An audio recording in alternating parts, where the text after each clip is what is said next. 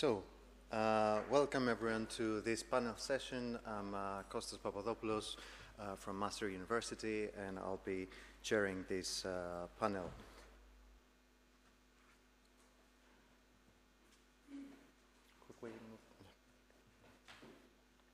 Yeah, perfect. So, um, we write in the title that it takes a village uh, to build an infrastructure for 3D scholarly editions. And I'm here today with uh, many of my fellow villagers uh, with whom we have been developing uh, Pure 3D, namely Susan Schreibman and uh, Kelly Gillikin from Maastricht University, Jamie Cope, uh, from uh, the Smithsonian, Jon Blundell, also from the Smithsonian, but he couldn't be here uh, together, and Jun Ogawa and Kiyonori Nagasaki from the University of Tokyo. Um, so, um, and, and, you will get to meet all of them in a while. So this panel explores uh, the various aspects of what is involved, not only in conceiving uh, and building the infrastructure, but in creating the 3D editions and developing uh, a viewing and editing apparatus that allows narratives or stories to be created around them. And it will also explore issues around training, uh, also a key to the development of the infrastructure, particularly given that uh, conceptually, methodologically, and technically, uh, the requirements for creating 3D scholarly editions are quite different from what we have been training for uh, over the past uh, 20 plus years for more traditional text-based editions.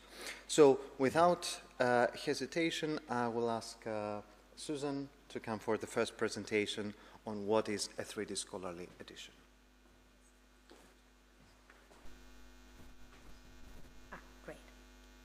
So, um, I start some of my talks um, it, uh, uh, with this, and it really started when a textual scholar, me, met an archaeologist, which is Costas, and I just have to say, it was really easy finding good archaeologist pictures. I couldn't find, and we spent a long time yesterday looking for a female textual editor. Not that he, you, he looks like a textual editor, but he, but he did come up as one. So anybody who makes pictures and puts them on the web, I think this is something that's really missing. Um, um, so basically, it starts when I meet Costas in a previous institution, and he was telling me all the problems with uh, uh, 3D, putting 3D on the web, contextualizing it, et cetera, et cetera. And I said, well, you know, we've been doing this for a long time in the textual space.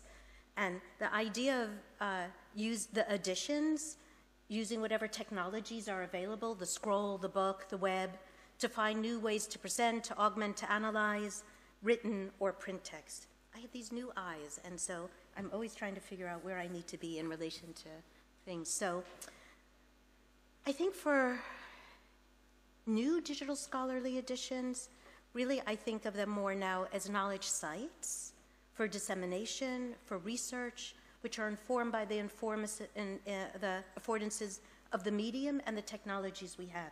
And over the course of my career, they have changed enormously what we can do with text on the web. When I started working with Costas, uh, we realized, or I certainly realized, that these webs, I'll call them of intertextuality, they, they weren't available for people working with 3D. Um, if you work with 3D, you know that people build them, they use them for analysis, they put them in articles, not them in articles, they put pictures of them in articles. Maybe they make a video and put it on YouTube. Um, but this is because of the constraints around 3D and the, the changing, even I have a project, which I actually am not talking about today, I think, Mount Street Bridge, that's kind of old from 2013. And every time we put it on the web and it launches, something changes in the browser or the technology, and it, it doesn't work anymore. Um, there's no standardized ways of displaying um, knowledge structures around 3D, no architecture like we have, say, with TEI, with XML, for metadata, paradata, etc. So we decided to combine our expertise and explore what does it mean to apply the principles of digital scholarly, of scholarly editions digital to 3D models. And the roles don't work perfectly for editors of print and editors of the, who do edit 3D editions, but we'll, we'll try. They're less clear cut. So here's, I'm an Irish studies scholar first, an edition, very famous edition of James Joyce's Ulysses, it is clear Joyce is the author. And it's clear that Hans Walter Gabler is the editor, and it's published this edition by Gabler in Random House 1984. We know that. As with the Ulysses example, in many ways, what people are doing with 3D is to stabilize the text. Here you have to uh, work with me a little bit and imagine the 3D model as the text. Um, so to correct any errors um, that creep into what we do with scholarly editions, we correct errors that creep into the publishing process. Hmm, sometimes we make more in the way we interpret, and we have to provide a rationale for the edits that we make. So if we think of the additions of models, if we think of the model of the text, if you can, if this is weird and but suspend disbelief, who's the author? Um, if the model is a reproduction, for example, of a building, this is this is Mount Street. Who's the author? Is it the architect? Is it the builder? Is it the modeler who creates the surrogate? So I think in this case that analogy maybe doesn't work so well. But the parallels are not perfect, but I think we have a case for thinking of the author of the model as, as the modeler in the case of reproduction, reconstructions, in which the modeler is recreating something, an ancient building, reconstructing an artifact out of fragments. I, and, and, even though it's not a perfect, I still, we th- still think of the 3D model as a text with a new set of motivations for creating an edition around it. In the case of 3D scholarly editions, we are um, maybe not trying to restore what we call authorial intention, however one describes that, what the author meant if they could have um, republished the book in the perfect way that they wanted, like, but maybe more like what we do in historical editing, say a diplomatic edition, trying to represent the object or the world being modeled. So in the case of extant objects like this, we're trying to create as faithful a representation as we can using a method such as photogrammetry. So the 3D object, of course, is a representation in itself. It's a domain-specific model which simplifies the complexity of the environment being represented. Who the author is, who the editor is, maybe is the editor then the person who maybe creates the model and puts all these annotations on there even if they're different people, they might be. Someone might actually do the 3D modeling and someone else with the skills and expertise. Um, so, probably a, another way to think about this the modeler is another kind of editor, maybe, in the text reconstruction as opposed to the author. Given the possibilities now in all kinds of scholarly editions, we have the possibility of more dynamic annotation so linked data, computer vision, the role of the editor could even be assumed by non-human actors. When you model a world that no longer exists in some fragmentary form, the reconstructions are much more speculative. They can be used as heuristic tools from which to build knowledge, spatial and temporal relationships, using sound maybe or, or light. And these reconstructions can force, demonstrate um, for people to look at evidence anew, uh, to look at evidence that maybe we traditionally overlook, um, and it can be built into the model and analyzed within it. So, in this way, I think these 3D Scholar editions are not unlike digital scholarly editions in terms of thinking of them as like assemblages or um, machines of knowledge, uh, as uh, written about by Deleuze and Guattari. They can be, they are objects that can be read and understood through and by their means of production and reception to revisit long elevated uh, textual practices such as annotation, apparatus, commentary, etc. So, what are these additions? What are these sites of knowledge? What exactly is an annotation? In a digital edition, we use, in addition to text, we can use audio, visual, and you'll see some of this later. Uh, we can change camera angles to actually be an annotation. Um, we can layer with other objects like a map here. It, contain, it could contain linked data. Um, as I said before, we are being trained how to understand trains of scholarship, but how do we understand trains of scholarship when we have non uh, human actors, as in this linked open data example? Um, should reconstructions be considered like annotation? Um, what the floor might have been in, in a Roma villa, for example. Um, they can also contain interactive content. A medieval church could be modeled to its original structure so a musicologist can reconstruct its sonic space. And annotations can be triggered by users um, moving through space. So our colleagues in the Netherlands who are part of the Virtual Interiors Project have written about 3D editions as on this slide, and they talk about it in three steps, which is a quite nice um, way to think about it, to use a 3D in the reconstruction, the construction, to generate insights, followed by discovery, where you bring uh, the public, other academics in to maybe create additional knowledge, and then um, oh, sharing of knowledge, and then uh, taking that knowledge, bringing it back, and then uh, a, a, site of discovery. And so, as Costas said, the following papers are going to explore more fully what came out of this original discussion.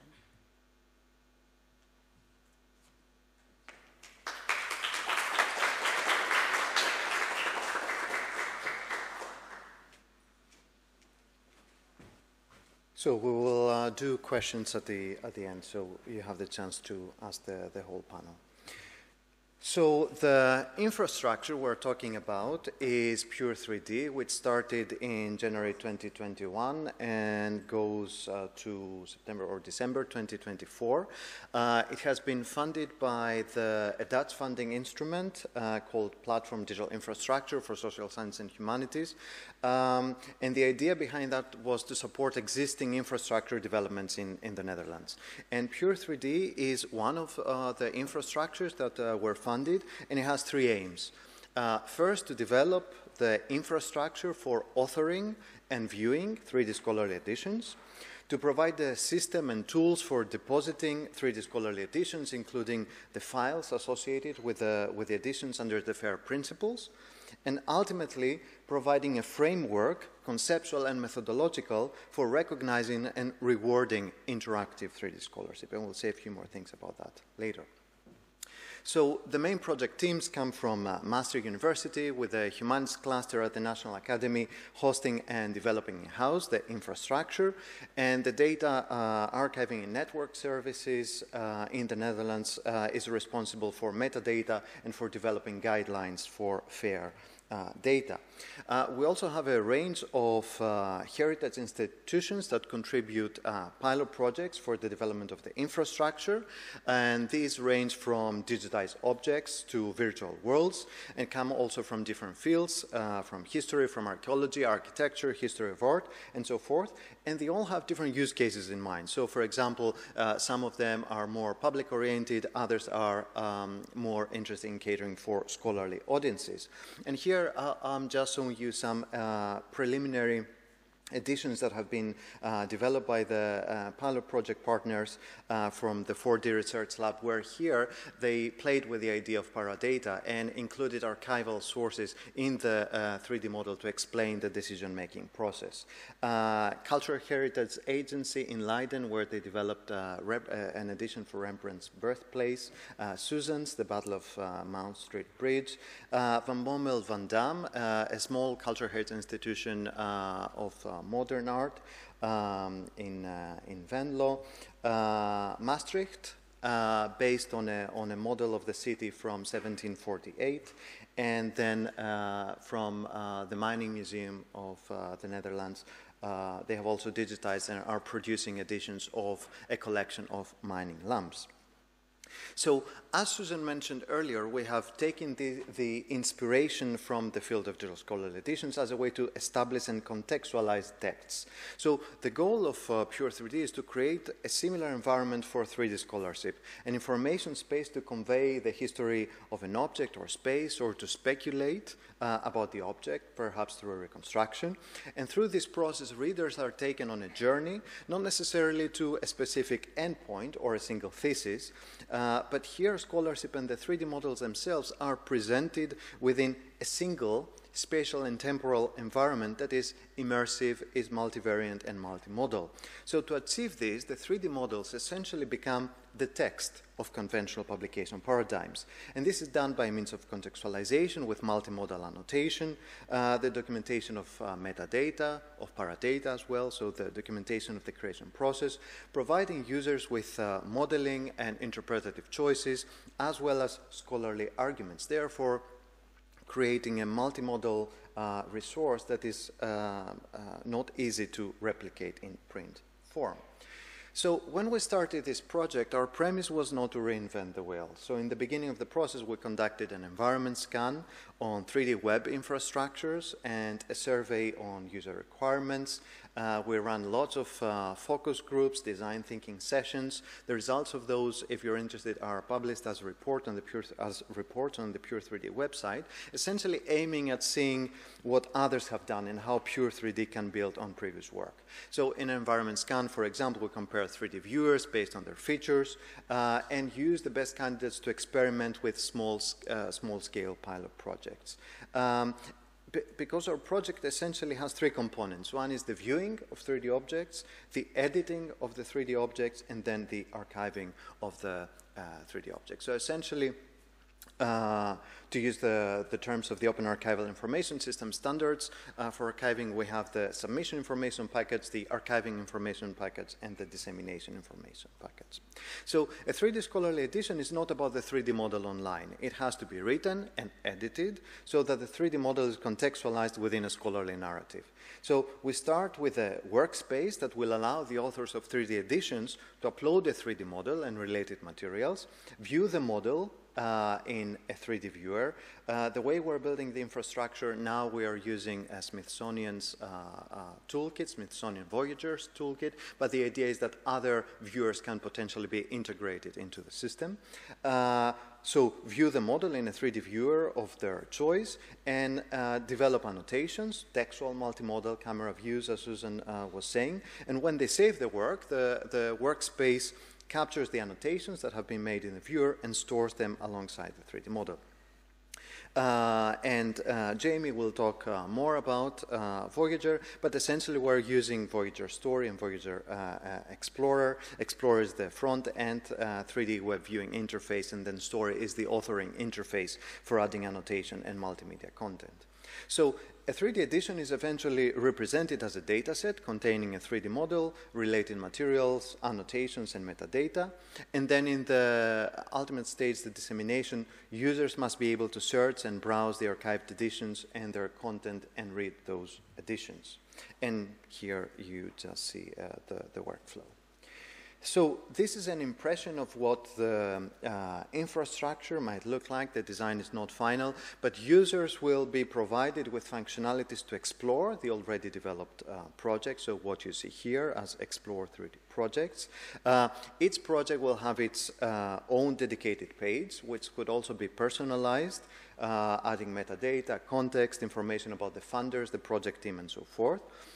But the idea is that each project could also have multiple editions. So in the case of um, the Battle of Mount Bridge that uh, Susan is doing, uh, the, there are multiple buildings that are uh, developed as individual editions. So the project is the, the Battle of Mount Bridge, but then there are multiple editions for each of the buildings.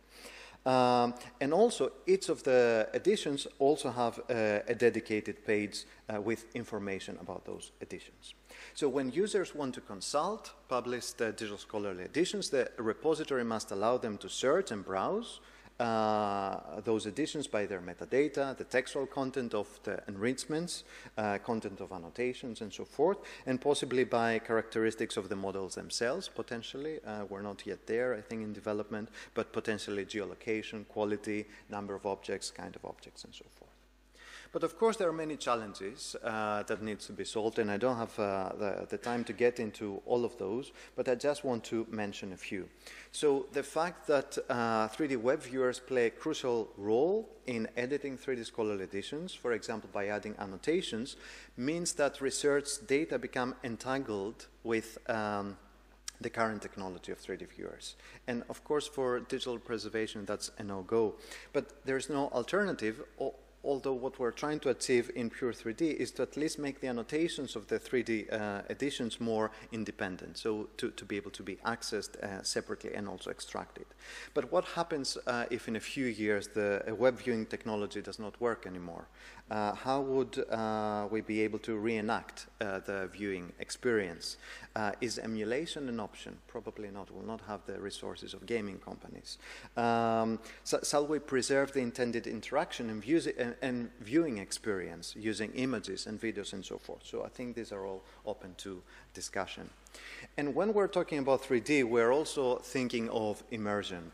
So the scholarly environments that exist for scholarly 3D are not immersive, uh, similarly to a gaming environment at least.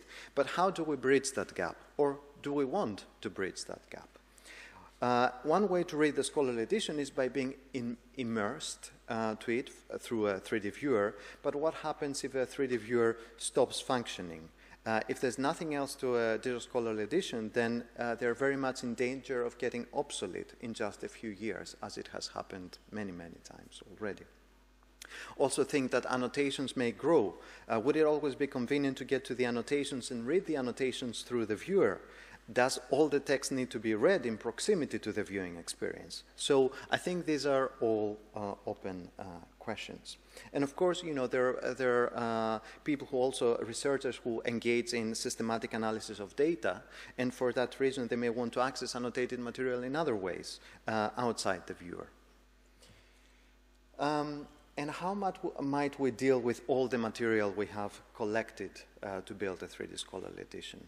Uh, I'm an archaeologist. Uh, we look at field notes. Uh, lots, lots of material we'll, we collect, and then some of these find its place in a 3D scholarly edition. But then, what do we do with those mostly digital files? Actually, what is the aim uh, of this? Is it the reconstruction of the thought process? Uh, and is this even possible? Is it for preservation? Is it for use? So what do we uh, preserve in this process? Um, and of course, we are now uh, have started dealing also with metadata with our colleagues at uh, DANS, uh, uh, and we have started mapping from Dublin Core to Dataverse metadata elements to our projects to see, um, you know, how we can deal with that. Um, but even for an infrastructure such as uh, Pure 3D that has a limited scope, essentially to present and preserve 3D objects together with the rich scholarly narratives, there are many moving pieces and questions that our field has not really managed to um, uh, resolve or at least achieve consensus uh, even after several um, decades essentially of discussions, expert groups, pilots, and projects. Uh, how do we deal with fair data? How do we deal with versioning? Uh, how do we deal with changes in technologies and so forth? So these are all uh, open uh, questions. And I would like to close with a challenge that uh, has always been close to, uh, to my heart and has to do with recognizing and rewarding this kind of scholarship. Um, because despite the immense amount of scholarly work that the 3D visualization requires, 3D is not really recognized as an autonomous form of, of scholarship. And it always exists in this fragmented information space where you have the 3D artifacts included in online publications as mostly illustrative uh, figures, uh, therefore uh, not making visible the scholarship that has gone into their creation, uh, decisions, sources, variables, and essentially we're talking about a, a black boxing uh, process. And of course, think for a moment when such outputs need to be evaluated uh, to get an academic position or to get tenure or to get promotion. And in the past few years, there have been a few attempts to deal with this fragmentation. A few journals support the embedding of 3D models in online publications. A few publishing houses also have started supporting digital monographs. And I think we're at a good moment to change this now that there are several institutions and initiatives which have started seriously discussing the reform of research assessment.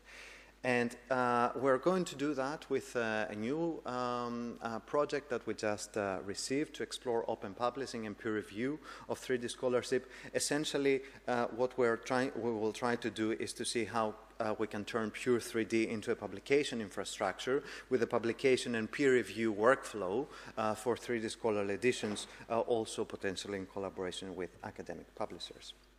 And I will close uh, with this slide. So we are at the stage where uh, the prototype of the infrastructure is almost uh, ready. So we want to open it up to those who have 3D models uh, to come and develop 3D uh, scholarly editions using our infrastructure. And through this, we also want to test workflows for publication, for peer review. Uh, so for those of you who work with 3D or you know colleagues who work with 3D, please uh, spread uh, the word. And Jamie uh, Cope and Kelly Schoueri will also tell you more about the authoring and viewing interface uh, that uh, you will be using for uh, to develop the editions, as well as for the training that we have provided already to cultural heritage institutions and the kind of training we will provide to this new round of projects. So I will now uh, hand over to Jamie Cope from the Smithsonian to talk about the integration of the Toolkit into Pure 3D. Thank you.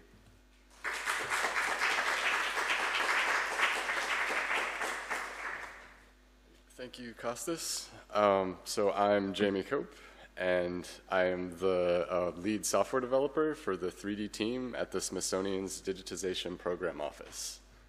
And what we do is we 3D digitize Smithsonian collections objects. Over the years, we've scanned thousands of things, um, everything from insects to airplanes. And once we have that 3D data, we create these high resolution digital surrogates. And then we move on to the second part of our mission, which is to um, take this data and these assets and make them available to the public uh, whenever possible. And one of the ways that we do that is through Voyager our uh, web tool suite for 3D authoring and display of um, interactive experiences. So what is Voyager? Um, it's an open source software. It's available right now on GitHub for anyone to try out. Um, it's browser based, so it can be used on uh, any device that supports a web browser, so your home computer, your mobile device, um, or even something like a touchscreen in a gallery.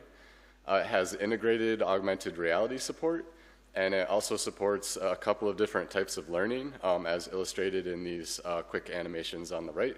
Um, we have directed learning, which comes in the form of tours.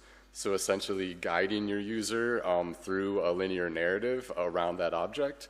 And then we also have exploratory learning, which is you know, a more self-directed approach where the user is going at their own pace, um, exploring the model and the information.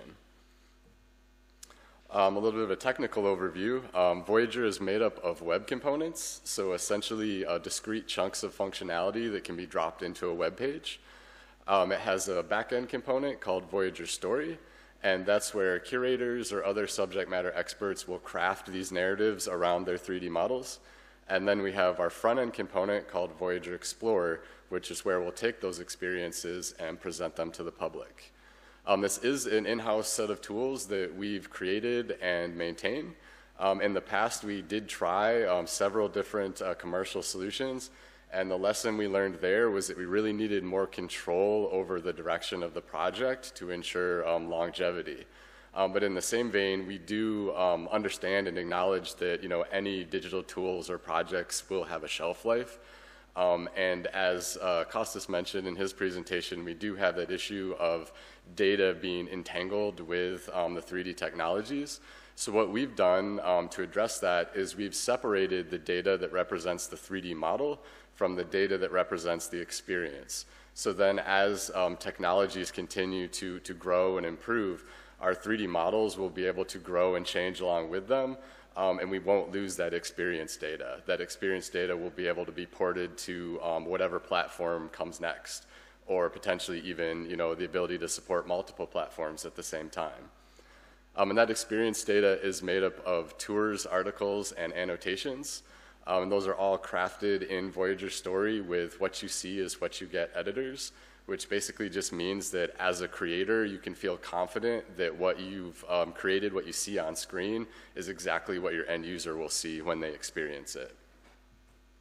So why do we have Voyager, and what does it do for us?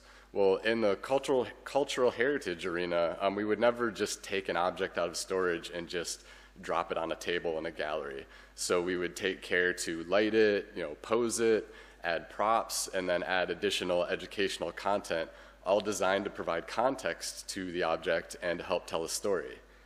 So with Voyager, our goal is to do that same thing, but with our digital assets. So we have full control over lighting the object, um, posing it, adding props, which in this example are annotations that describe specific points of interest on the surface of the model. Um, we have our content, which comes in the form of articles, which includes long form text, images, embedded video, pretty much any type of multimedia that you would see on a web page.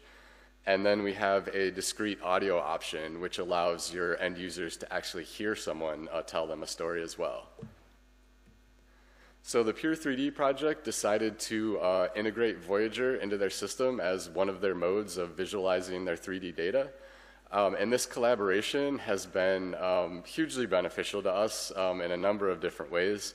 Um, one of the big ones being the access that we've gotten to their um, user groups. So the Pure 3D users have different perspectives, they have different goals with using this system, and they even sometimes have different paths that they take through the software.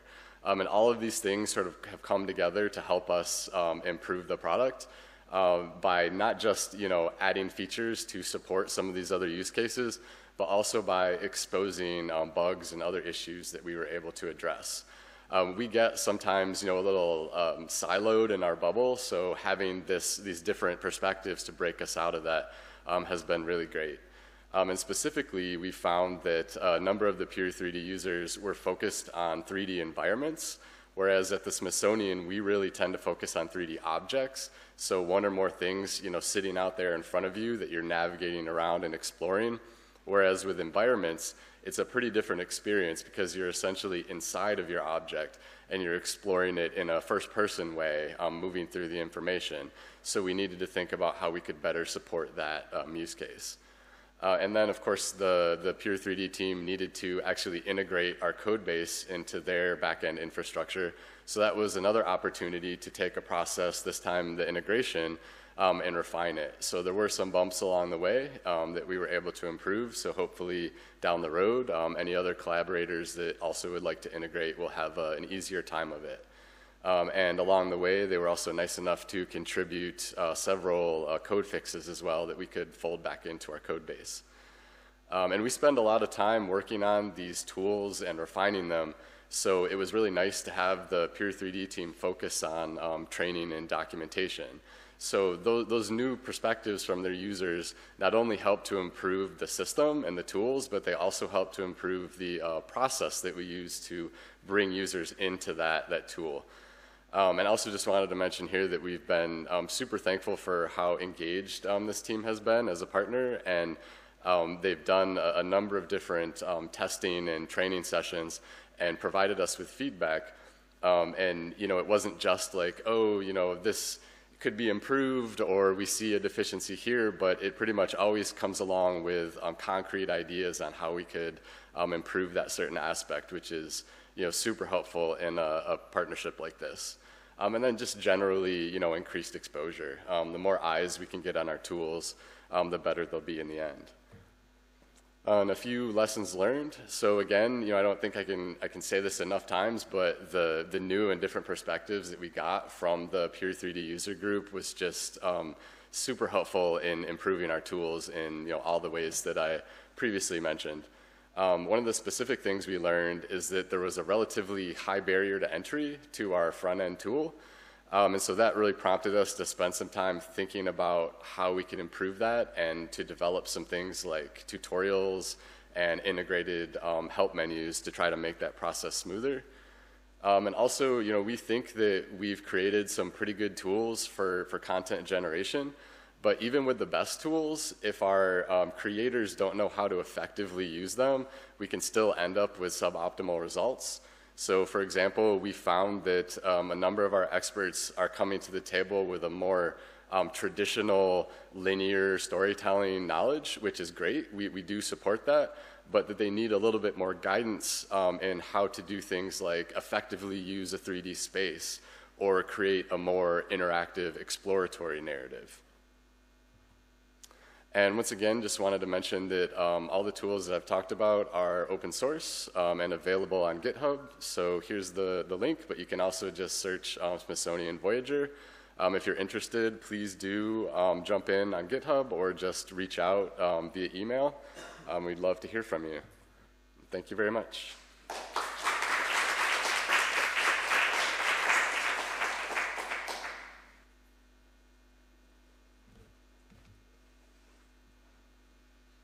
Uh, hello, everybody. My name is Kelly Gillikin-Schoueri, and I will take over the next phase of this panel presentation, and that is training the community theoretical and methodological considerations. Uh, so since the beginning of the Pure 3D project, it has been pretty clear that training the concept of a 3D scholarly edition using dedicated 3D annotating tools like Voyager Toolkit um, is a really integral part of designing and developing this 3D infrastructure. Our approach to training editors has been rooted in the idea that a 3D edition should fundamentally incorporate annotation and apparatus in ways that directly interact with the 3D model. And in order to achieve this, our training activities have aimed towards two main objectives. The first is to conceptualize 3D scholarly editions as a novel form of scholarly communication and to teach com competency in developing a 3D scholarly edition within Voyager Story specifically. And over the course of our iterative training process, uh, we have come to realize the core theoretical grounding of training others to develop their own 3D scholarly edition lies within aspects of intermedial theory. For one, it is important that editors realize that the 3D model as one type of medium it, uh, is actually referring to another type of medium. Uh, Schröter labels this process as transformational intermediality, whereby the original medium's individual qualities, meanings, and modes of expressions are defamiliarized in ways that could contribute to new aesthetics, narratives, or communication possibilities. Therefore, the editor must recognize that they are working not with the original physical object, but with a 3D digitally rendered version of it. Um, and this ultimately requires a different set of approaches and perspectives when curating content around that 3D model. Secondly, the idea of a 3D model as a center of a medial constellation is also an important theoretical consideration. Uh, Rajewsky describes a media constellation as a project, uh, as a product in which each media element contributes to uh, the constitution and signification of the entire product in their own specific way. Uh, therefore, 3D Scholarly editors should be critical in making decisions about the content and the media types that they are selecting as annotation for that 3D representation. And finally, the idea of object biographies has re relevance to editing 3D scholarly editions. Uh, 3D uh, object biographies is taken from the field of material cultural studies, and they are sources of historical knowledge about the object's existence. And this ranges from the birth of the object to its life and then eventually its death.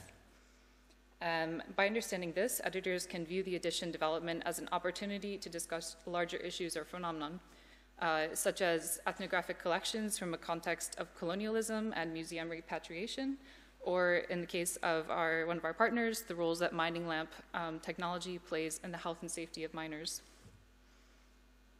So as part of the Pure 3D project activities, we have conducted a series of training modules for various stakeholder groups. These groups include bachelor student, public sector heritage professionals, and academics from a wide range of research interests. And it's important to note that with some groups, we had an entire semester or even a year to train and develop the edition together with them. But with others, it was only a week or two. And for our latest training session, we actually only had a day, and that was in the context of a conference workshop. And uh, the training materials and procedure has been developed through an iterative and collaborative design cycle. And with each session, more or less, we follow this six-step process. Um, but we have to make adaptations to each session in order to accommodate for the varying timeframes that we have together with the editors. And the first step is to make a quick, first to introduce the Pure 3D project and its goals for developing the infrastructure for 3D scholarship. Uh, this is also the time to introduce the concept of a 3D scholarly edition as the end product that the editors will be making. And finally, we quickly provide an overview to the tool that they're about to engage with, which is the Smithsonian Voyager Toolkit. And then after introductions, we jump right into training of how to use Voyager through a tutorial of an abbreviated version of our 25 Northumberland Road edition, this tutorial walks them through step-by-step instructions on basic creation of annotation, articles, and tours within Voyager. Um, the tutorial also includes additional instruction that aims to introduce like less intuitive capabilities within Voyager, as well as how to potentially correct like uh, user errors that might come up. Um, and this like tutorial usually takes about one and a half to two hours for participants to complete, depending on how, how savvy they are with technology. Um, each time we conduct the training session, we ask participants to point out mistakes or confusing syntax in the instruction. And this has been really useful for us to, to improve the understandability of the tutorial itself. And we also make changes to the tutorial as the software itself is updated. So the Voyager team, um, they do updates every month, and sometimes there are major changes that we'd like to incorporate into the tutorial. Uh, so once the participants have completed most or all of this like basic tutorial, we have them get started on thinking of their own 3D edition. Uh, we use either online brainstorming tools such as Google Jamboard or Miro board, or we propose like the analog pen and paper with sticky notes. Uh, the editors uh, can abstract out their 3D representation via a 30-minute brainstorming exercise. Then we ask the editors to consider all the data they have about their object or the place that is represented in 3D. Uh, then we ask if that information can be attached or associated to specific locations on the model or to certain camera views. Again, trying to focus in back on that materiality and spatiality of 3D. Uh, this is step number four is conceptualization. Uh, this is where the largest amount of time is actually spent in developing the 3D edition. It involves planning, organizing, writing, and sometimes even extra research. Uh, and for the most part, we as instructors try to take a step back to allow the editors to organize and plan as they choose for their own comfort level. However, before they get started, we suggest a method that we found useful for conceptualizing the edition. Um, this is that we recommend using a PowerPoint present, uh, the PowerPoint medium to abstract out like the tour in a Voyager. So this means that each page of the PowerPoint can be viewed as a step of the tour, with some page some pages containing an article with the title, the text, and any multimedia and bibliographic references that provide additional contextualization and scholarly substantiation. We also suggest that they keep in mind uh, what is occurring within the 3D space as the tour is progressing, such as which annotations become enabled at which step, uh, or what is the camera view on the 3D representation during that tour. Uh, once the editors have gathered and developed their content, they return to Voyager to implement their edition within the system. And hopefully at this stage, the editors um, remember enough how to interact with Voyager so that they can easily create the annotations, articles, and tours, or do other things that they'd like without extra help from us, but sometimes uh, they forget or need a bit of help from us. Um, this is also a moment when the creative aspect of, cre of developing edition can take over for them. Um, this happens through trial and error, experimentation. Um, the editor discovers novel ways of linking 3D space to the annotations embedded in and orbiting the model.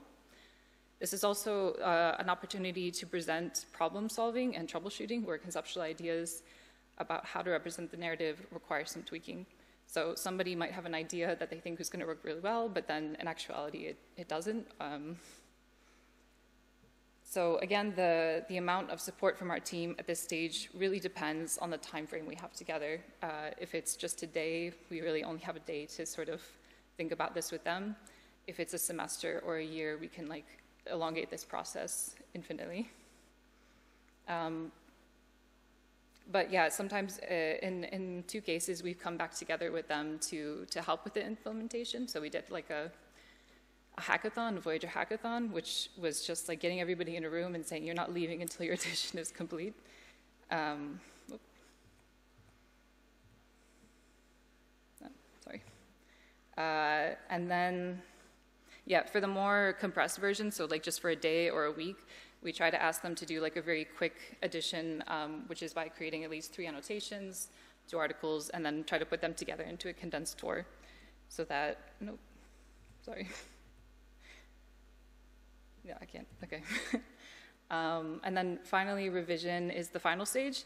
Uh, once the editor has completed the Voyager edition to their satisfaction, we will take a look at it and provide some feedback and comments. Uh, this might include ideas on where to provide some clarity to the narrative or make suggestions of Voyager features that they hadn't considered or they didn't know about um, that could better suit their objective with telling that narrative. And based on these training sessions, we found that learning how to use Voyager software is really easy to teach. Like it's a very intuitive uh, framework, but even for those who have a background in the more traditional text-based editing, what is challenging is the change in mindset to how to edit an edition in which the text, uh, in which the textual center is actually a 3D model, as Susan was explaining in her presentation. Um, to do so necessitates an annotative focus on place-based location, originating, originating from physicality of that model. Um, some other challenges we have identified include the fact that Voyager does not accommodate very well an edition like presentation. Um, this is because of its more storytelling oriented focus, which is designed for public rather than scholarly audiences. Uh, but we're working on ways to work around that. Um, oh, sorry. Um, another realization that we kind of came, came, to is that there's really no ready-made formula that we can teach others to follow when developing their edition. This is because every object is unique, um, and there are really many infinite ways to approach the conceptualization of, edi- of edition around that object. Uh, we've also seen the temptation for editors to start immediately with annotating their 3D representation right at the outset of designing the narrative. Um, in this scenario, we observe that there is too much of a focus on the model, um, and the editors fail to develop interesting content that contextualizes how that model links um, to wider themes such as colonialism or artistic movements, um, etc. In this case, the editor seems to hit a wall in terms of what more they can say about the object. Um, on the other hand, we have also seen editors go in the opposite direction where they focus too much on the content development and, conceptualization in 2D. And when this happens, it leads to a neglect of that 3D model and how the annotative content can and should be connected back into the 3D space. Uh, we've seen that in this scenario, the 3D model becomes merely an accessory, uh, moving about in the background while slide after slide of text is presented. So based on this iterative training process and collaborations with participants and the Voyager development team, we are understanding which aspects of designing 3D scholarly editions should be emphasized during this training process. For one, it's uh, clear that brainstorming, the brainstorming stage is an integral first part of developing the edition. Um, we've learned that we can emphasize the importance of centralizing the 3D model at this earlier stage by having them identify which physical characteristics of that model can be used to further a narrative.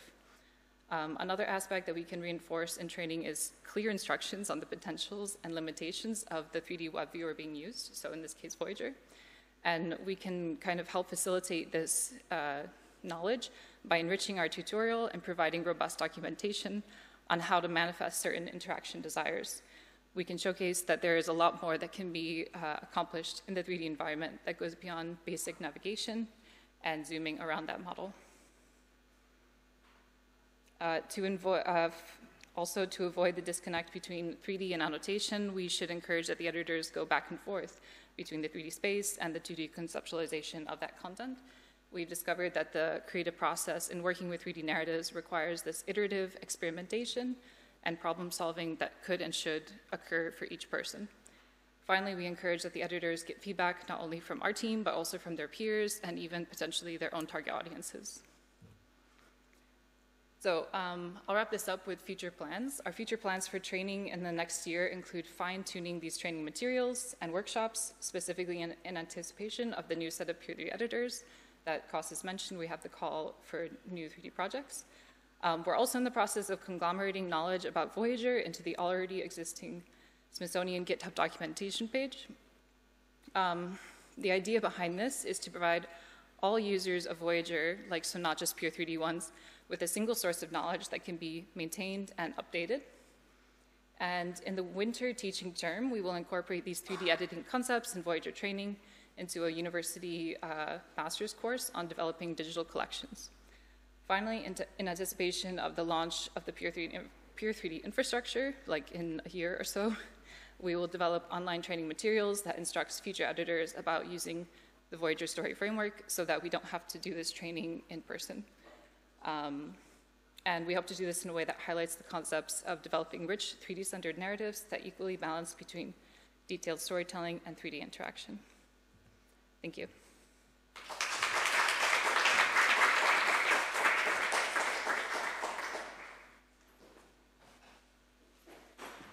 So I only come back for a little bit in, in this presentation.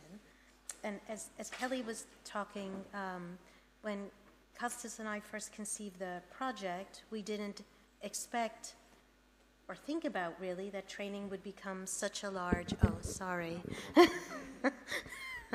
such a large part of it. Um, um, but we realized that it wasn't just how to training on how to use the tool, but as Kelly was saying, there's we realized how much conceptual work needs to go into uh, creating a 3D edition, even if you have a background, which hardly anybody has, in creating uh, textual scholarly editions, it's so dif- different. And even if you've worked with 3D, people don't have the experience in how to annotate around it. So, as Kelly said, um, we had some opportunities, but a different opportunity uh, appeared one day um, in the uh, form of Kiyonori, who emailed me, me, one day and said, We have some money in uh, Tokyo to bring uh, some people over. And if you remember, this is last summer, and it was virtually impossible to get into Japan um, at that time. As you remember, we should have had this conference last year in Tokyo, which had to be moved online. But I was one of the few people who got into Japan last summer, um, which wasn't easy, and um, did a kind of month long workshop with some colleagues at uh, Tokyo University. And what was really interesting and exciting about it was that I got to work with a group of academics who some of them had interest in um, uh, traditional scholarly editing, but many did not. But they all had an object and wanted to tell a narrative around it. So we were there for, I was there for about three weeks, working very intensively. Um, we had, as you see, quite a number of people, and it was another example, nine people, to use our training materials and again get feedback and have several editions that we didn't anticipate at the beginning created. So, what we're going to do, what we'll have now is in fact both Kiyonori and Jun, who both did editions, uh, talk about the ones that they created. Um, so you can see some examples, uh, which will go online as part of our offerings. I don't know who's speaking first.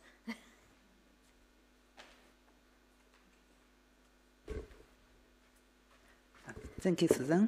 So, so we, villagers living on the outskirts of the village, challenged, challenged to use 3D digital scholarly edition with Voyager, um, helped by Kelly's helpful documentation.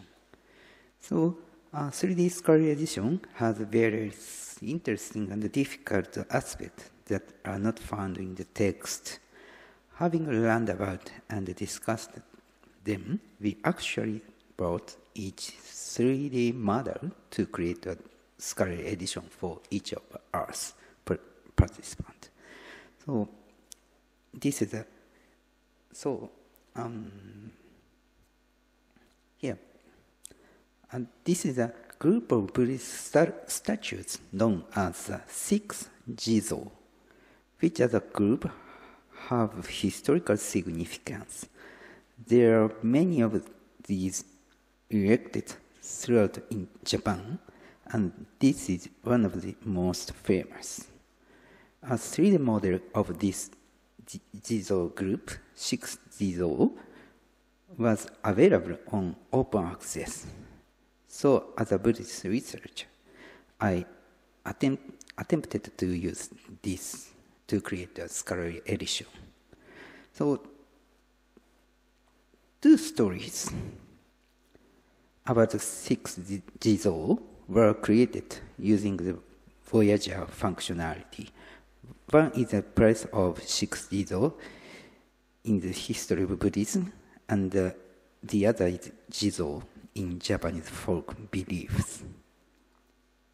Well, um, this section is mainly about the creation process.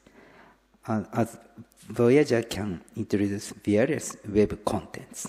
So I've included relevant 3D contents published on Sketchfab as part of the story. The Jizo is a stone statue, and the object, in this case, prayer breeze, it is trying to show is not very accurately represented and is not very clear, unclear when views when viewed from various angles using the 3D model.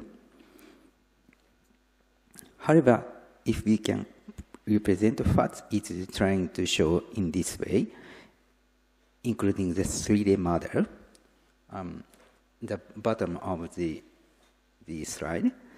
So it will be very easy for users to understand the figure of the object.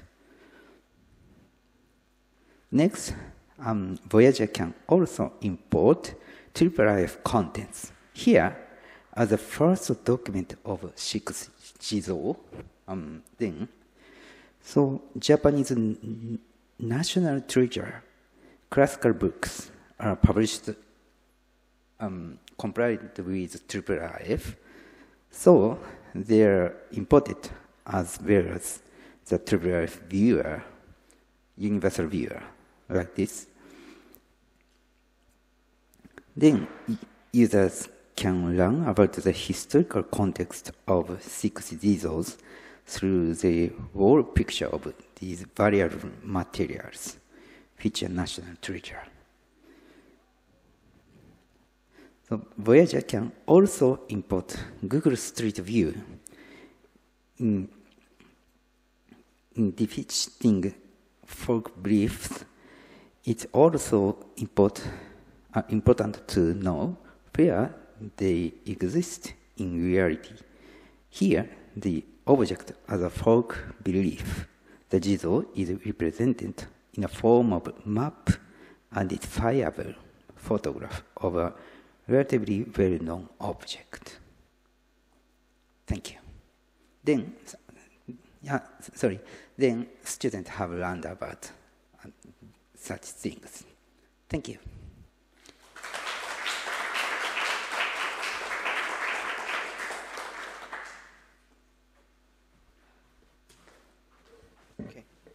Hi, my name is Jun Ogawa, and I'm also from Tokyo, Japan. And I'm originally the historian on Roman history, so that's why I'm creating this edition, the Forum of Augustus, which is a very famous uh, structure in ancient Rome. So this is the overview of my edition. Actually, I'm, I think I'm not an official project member of Pure 3D, so I, I'm kind of like in the position of just one user. So my presentation is given from that position. Um, so I have two tours. I created two tours about this um, building. The first one is Augustan regime and the Forum of Augustus. It's kind of like a historical context of the forum because I'm a historian. I'm really interested in what kind of political meaning this building have, had for Augustus. So, yeah, uh, there are some articles about uh, the, the general history of the uh, of Roman Republic to the empire, and I put some uh, images or inscriptions or 3D models. Yep. So this is my first tour, and I have a second tour about the reconstruction process of uh, the building. Actually, I and my colleague created the 3D model like that. So this is kind of like a reconstruction that uh, I'm not taking it from like, you know, Sketchfab or something, that this is the original model that we created. And we use a lot of uh, sources for this. For example, the reconstructing image or the academic article publications or the, the maps like that or the picture of the ruins. So, my question for the second tour is how we can show the reconstruction process in this uh, tour. So you will see the, the map of structure with measuring node. It's a red uh, thing, little thing on the map. It's a measuring node. So we measure every single part of the building. So how long, how tall it was, these kind of things. And we created a model. So this is uh, not like a historical context, but this is more like a um, technical uh, process that we've done. Yep. So this is a brief introduction of my edition. And from now on, I have some thoughts uh, through creating these editions. So the first question is, who is the audience? This, I think this is a very important point because I'm, uh, yeah, so is that for the public or for scholars? If it's for public, it's more like important to display something uh, and telling the story about that um, 3D models. But if it is for scholars, it's maybe it needs to be more analytical or, you know, like simula- simulation stuff can be done on the 3D models. And what kind of information should be included, like primary sources or scholarly interpretations? These are kind of like a, uh, information needed for the scholars, but not necessarily for the public. Maybe I, yeah. So this is a problem, I think. And I found some difficulties in editing process.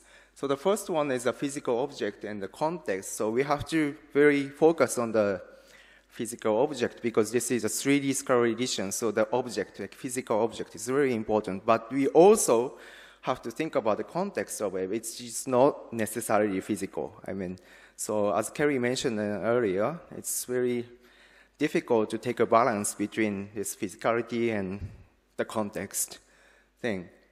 And also the second point is uh, multimedia representation of knowledge. So what is the most effective way to transform knowledge uh, about the 3D models? So we're gonna use images or sounds or 3D, other 3D models or the videos. So what is the best way to uh, represent the knowledge about the 3D model? And this is kind of like a technical point, I think, but I thought that there that it is needed to have some ontology, including like 3D models, uh, modeling parameters, or reconstruction evidences like text sources, and images, uh, etc., and annotations, articles, interpretation. Especially like certainty or the time period information is very important for the historical um, edition.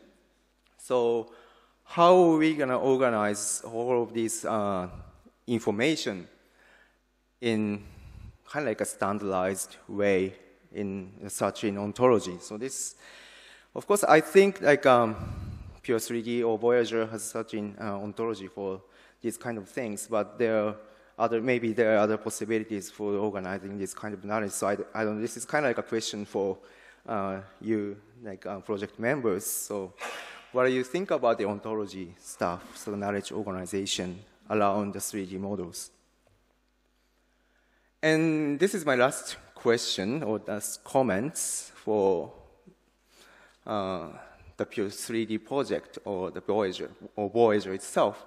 So interoperability with other frameworks. Um, I think there are several existing frameworks for 3D knowledge representation. For example, like extended matrix or the HBIM or the archaeological data service data model or the Scotch. So these are uh, giving a way to organize knowledge around the 3D model so how Pure 3D project will be collaborated with these kind of existing uh, frameworks or how can be interoperable with those? So this is my yeah, last question and comments about yeah, the project. So this, I, I will skip this and is that you who present this last slide, I think? Thank you very much.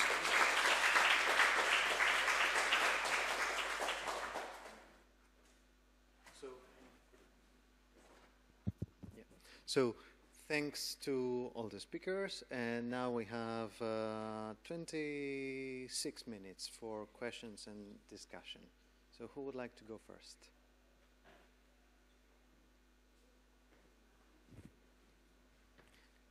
Oh, and I was also asked if the speakers can come here because we're live streaming, so you need to be visible.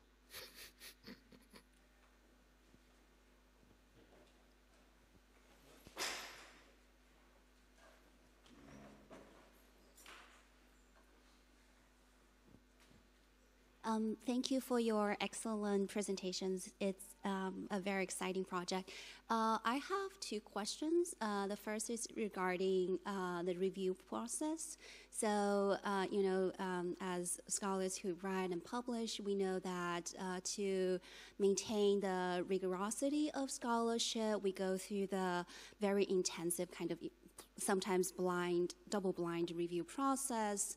And since 3D publication is so new, so I wonder if there's any consideration regarding how this, I don't know, review, peer review process can be brought in into um, you know, the, the development and then the uh, final publication of 3D models.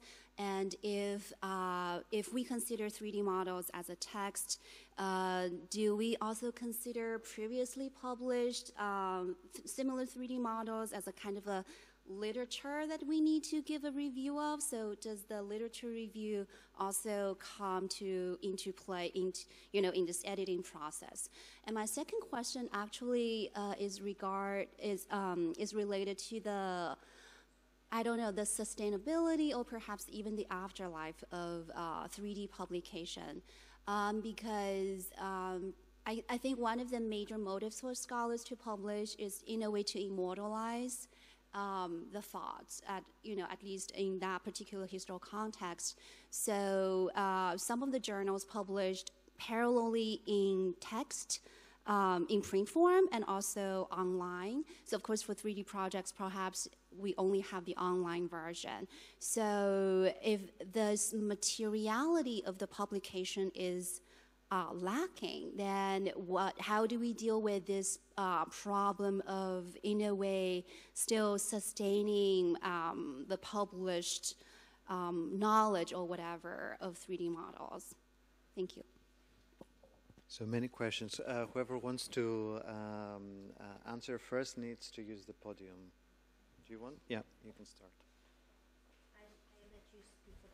Yeah.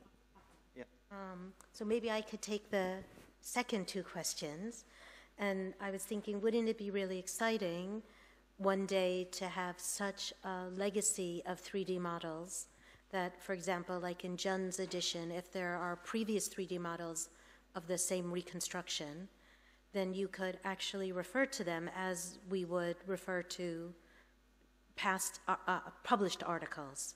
So you could actually look at those, maybe integrate them into your edition to show how your reconstruction differs from previous ones. I'm not quite sure we're there yet. Um, in part, I think because of this problem that I talked about at the beginning, that most 3D models are used for, in say, in research for an analysis, and then they're so hard to maintain. Um, the standards change, you don't have room for them on your servers, you move, the models don't. Um, it's really hard keeping these models and projects alive. Uh, Kelly and I are working on Mount Street that began in 2013. It's gone through several iterations, and we think we keep getting all the bits and pieces from the modeler, but we find that the um, lots of the textures are missing. When we reconstructed, the things come out in funny colors, and you know half the textures are there, and like we have buildings, half the windows are there, half of them are not. Like he keeps saying he's given, but Kelly spends a lot of time looking for text. So it's not just like a model comes and it it's kind of there. There's so many bits and pieces. So we are working with uh, the national uh, repository in the Netherlands called DANS to also try to figure out how do we keep all of these things and keep it in a way that someone could actually reuse it later.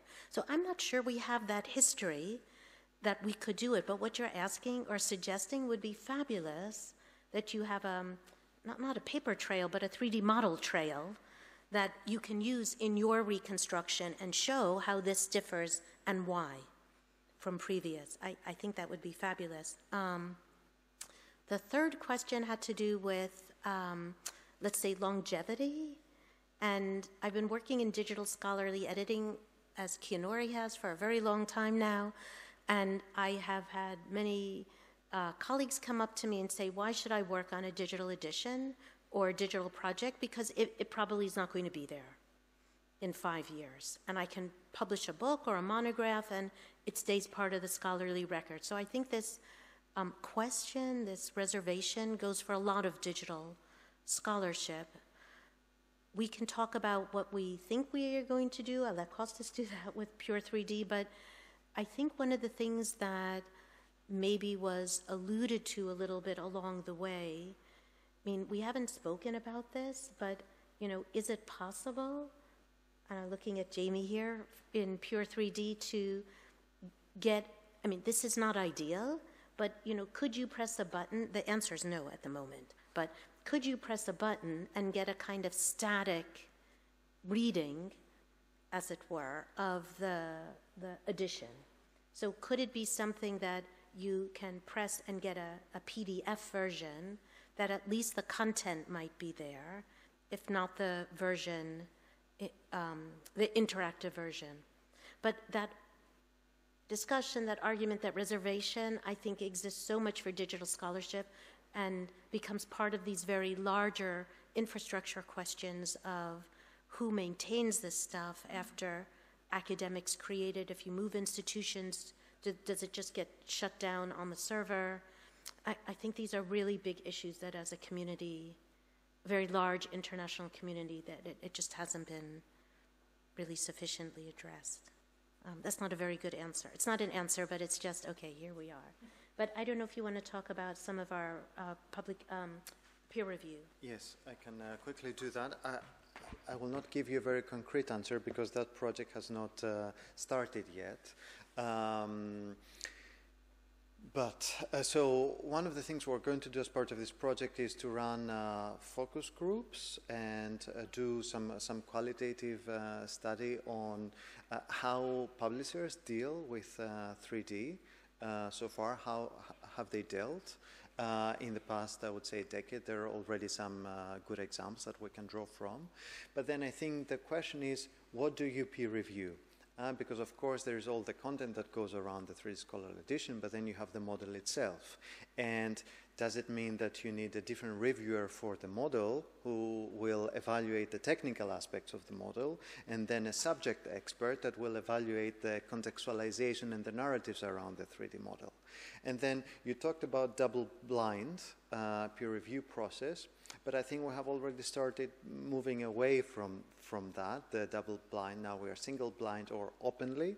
And one of the things we, we also discussed, uh, Susan and I, as part of another project we're working on, on open educational resources, is could the reviewer be involved and become a kind of a co-author or get credit along the main author in the process, whereas the person that helps the, the, the, main author, editor, conceptualize and work together. So it's a collaborative review process, peer review process, not so much to evaluate at the end.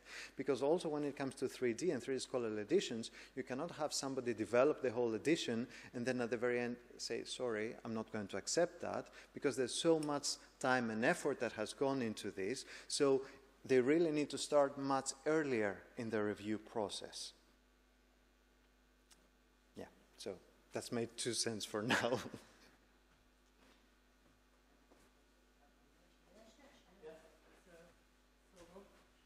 Uh, thank you for the uh, many good questions. So, and uh, I, I'd like to answer uh, so about uh, digital preservation. So, one of the reasons why uh, we joined the Pure 3D project is that so the, this project is included in a kind of a context of digital preservation in Euro- European and Netherlands um, for academic sections. So in, in Japan and uh, so in Japan, uh, we didn't have any such kind of uh, digital preservation um, policy for humanities. However, the um, Pure 3D is included in um, DANS and kunal and uh, such kind of uh, uh, governmental um, po- policy. So, and then, so Susan kindly uh, held a um, small meeting with uh, people in Kunal. Then we learned about such kind of things. It's also good um, learning for us. Thank you.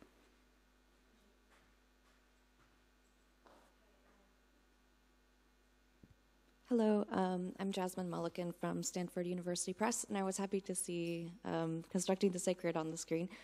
Um, as for the question of preservation, I was also very interested in this too. Um, I've been working on the production and archiving side of the digital publishing initiative for the press for the last seven years. And I would say, you know, we haven't solved it, but we've definitely like done a lot of work to try and figure out how best to, you know, preserve this type of content. And so I actually was wondering, since um, since Voyager, especially is um, browser based, I wondered if you had done any testing um, or playing around with even of web archiving for some of the kind of finished projects that are that are in Voyager. Um, I've had some luck with um, capturing Elaine Sullivan's project, which has the, the interactive 3D environment embedded within Scalar. Um, so it seems like it could be a potential solution for capturing specific interactive projects that are finished. It wouldn't have all of the same code and all of the same assets, you know, available for reuse, but it's one way of capturing maybe the interactive um, context, I guess. So.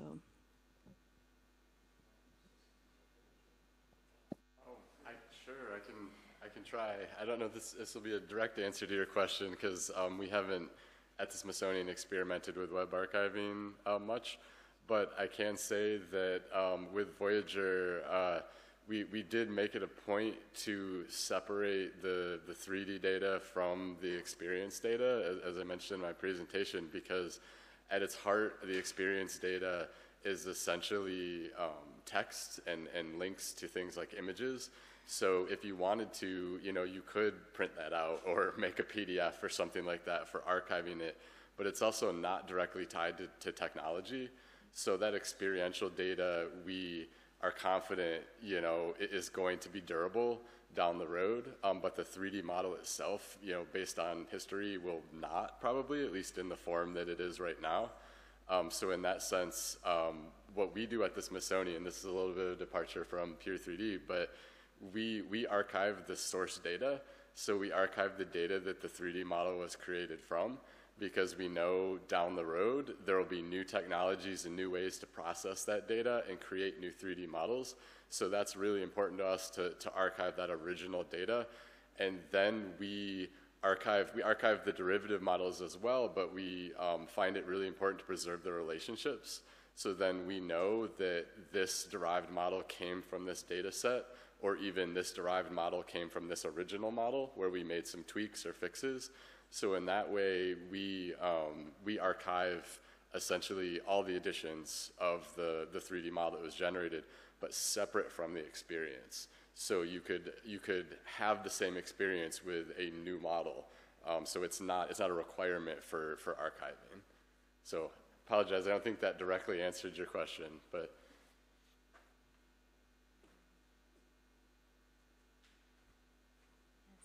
So we're, we're also um, struggling with this, and we've had lots of internal conversations about what is, what is it that we would archive, and, you know, is it every photograph? We use photogrammetry for the, for the ones that we create ourselves.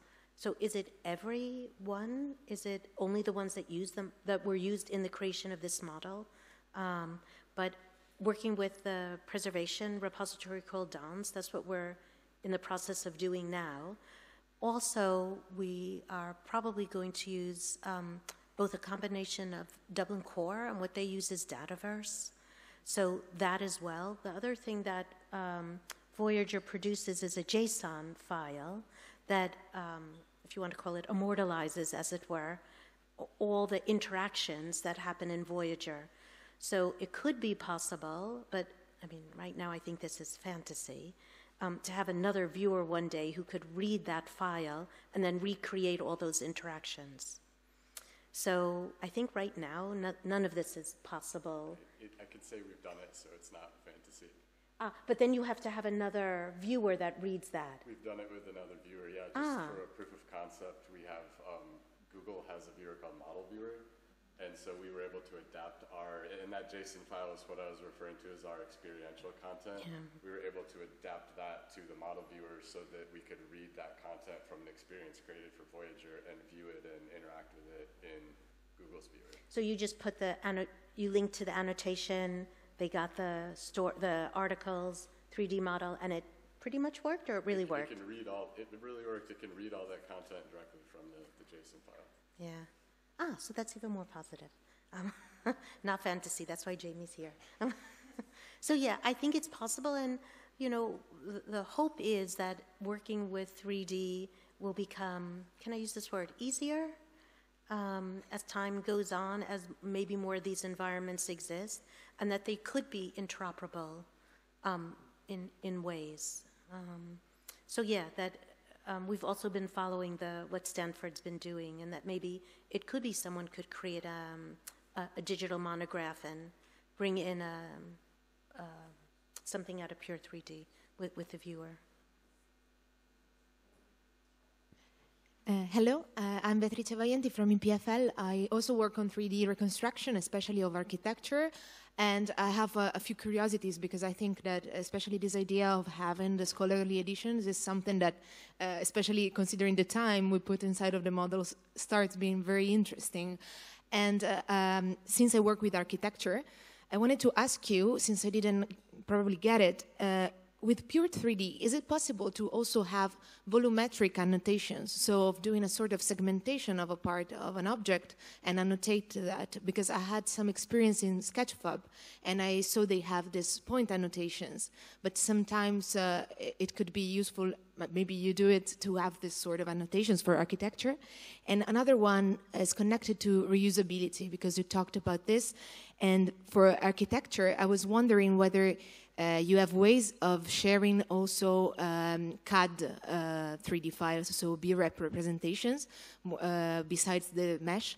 I find that for architects it may be useful sometimes to uh, build their models on top of these mathematical representations of reality, while mesh, of course, is for, for sure useful and fantastic for visualization and 3D printing. But I was wondering if you also uh, had some considerations on this. Answer the first, the okay. first part. Yeah, um, yeah I, I, can answer the, the volumetric uh, annotation part. So currently in the version that Pure 3D is using of, of, Voyager, we do not have the ability to do that, but we have um, functionality that we've created that we're still testing and are planning to release in the near future. Um, and it's essentially kind of a middle ground. It's not a truly volumetric annotation, but it involves using um, the texture map on the object to represent, you know, a volume. So um, in the Voyager Story backend interface, you can paint um, a region of the model that you want to annotate, and you can identify a particular color that will outline that region. So it could be a 2D region or it could be a 3D region, and then you can assign an annotation to that. So you can add text or whatever else you want to describe that, that region with. Thank you for questions. Actually, my model that I show you, uh, the, the forum, uh, it was segmented by very small pieces because for just one column or, you know, because that is reconstruction, so we can easily find a way to do that, right? And I'm doing, actually, maybe this is not appropriate to say here, but I'm doing other uh, attempt to represent the knowledge around the 3D model. And in that project, each uh, part of whole building has, um, okay, I, I, I make each part of a 3D building as a linked data, like RDF resource, and then connect the information about that just for that uh, piece of the model. So in that way, we can just put any information for very small part of the whole building or something. So maybe it's useful for your yeah. Uh, purpose. I, am not sure though. Yeah. No, thanks. Thanks for the answer. Uh, totally. And I think uh, going towards also the possibility of having this in a web viewer is certainly something very useful because I find it that sometimes not having this way of painting, of having a sort of visual, uh, let's say segmentation at least of what we annotate, can be for some specific objects because of course every one of us is working with very specific case studies. It can be sometimes confusing, but I think that having already this uh, is a very big step forward. So thanks.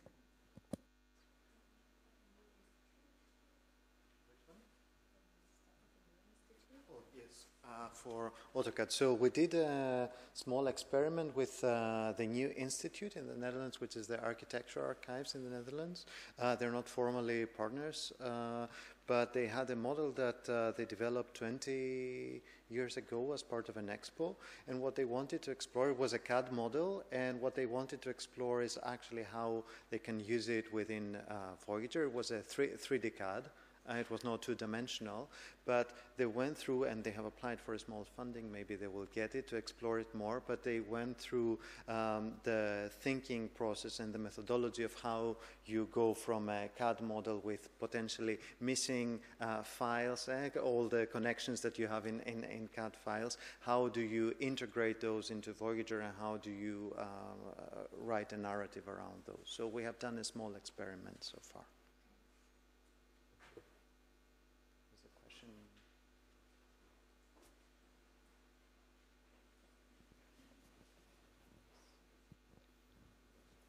So, are there any plans to have a creator also edit something? So, if, for example, there's a reconstruction, there's continuous research, but there's also already a edition that was made, can you edit that, and is it then visible what the edit was? Yes, if, if I understand the question, yes, the idea is so uh, of course, you you develop the you you make an account and you start developing the edition. When it's ready, you can you can publish it. But then uh, there is a versioning, so you can go back to your original one and create a new version with changes in the annotations, or maybe add a, a, another part of the model as well. We have uh, done that. Oh, you mean somebody else or the main? No, I think first the, the same person. So if there's like something yeah. new was was reconstructed or there's something changed for I don't know like yeah yeah. uh, that you can also see it. So it's it's also visualized in the model what the changes was. Ah. Maybe. Uh, you, as the editor have to yeah. okay. Yeah. or you can just duplicate your edition yeah. Kelly. and then refer to the old one. Kelly. sorry. Um, I forget what I just said. So I, I completely just blank on what I so, just So it's either so the editor herself or himself has to make it visible in the edition. yeah, yeah. So yeah, thank, thank you. So yeah, either you as the editor will um, go back, maybe yeah. So I think you could duplicate your edition, uh, make the changes, and then what would be so your original edition doesn't necessarily have to disappear. It could be there as like version one, and then version two can refer back to that one and says, oh, um, initially I thought it was this, you can see it back here, but now I've made these changes. Or you can, using the Voyager um, like tools, because again, it's really flexible and you can do a lot. Like I'm always discovering new ways to represent information with the tool set that, are, that exists. Um, you could have hypothesis one as like one model, and then within your tour show your hypothesis two, or like new information was discovered. This is my updated version of that model. Um, so I think I imagine an editor could do that in two different ways. So it's like versioning is kind of with so, so you can do versioning with the editor. Yeah. And, and as Kelly was saying, there's a couple of ways to do versioning. So you could leave the whole thing as it is and refer back, or as Kelly was saying, within the, the model, have just one version and show by various means what your previous uh, understanding was and notes around that, and then why and how you've changed it. So but there's no standard. It's just the editor can choose what yeah i think like like in very traditional editions there isn't a standard way of doing anything. And of course there are so many you can just see from what we've presented today and even the questions that were asked there are so many mo- kinds of models with so many i will say authorial intentions that there isn't i think if we were to say you must do it this way we would a be limiting because what we found in the process of, uh, is people really using, and that's I think what Jamie was saying as well, really using the tool in so many different ways. So right now, I think we would not come down on a way to do it. The other thing that maybe you were alluding to is, can anyone come? And right now, the answer is no. Um, it could, and, and that's also to preserve the authorial intention. We don't, and, and, it, and it does create a much more complex administrative intra- infrastructure that you would have to allow people in and where they could make. So there's not a way, an easy way to just make comments along the side because so much of it is embedded within the, the viewing experience. We've discussed it, but right now, given our um, where we are in development, that it's more important to have the addition, and it could be an editorial team, um, but just a random person can't come and um, make changes at this point. Thank you. So, uh, it's time. It's uh, 12.30 and it's time for lunch. Thank you very much to, well, to uh, the speakers. Thank you very much for all the attendees for contributing to the conversation. Uh, just remember if you know anyone with uh, 3D or you're interested, we have the call for new projects, so please uh, spread the word. Thank you very much and enjoy.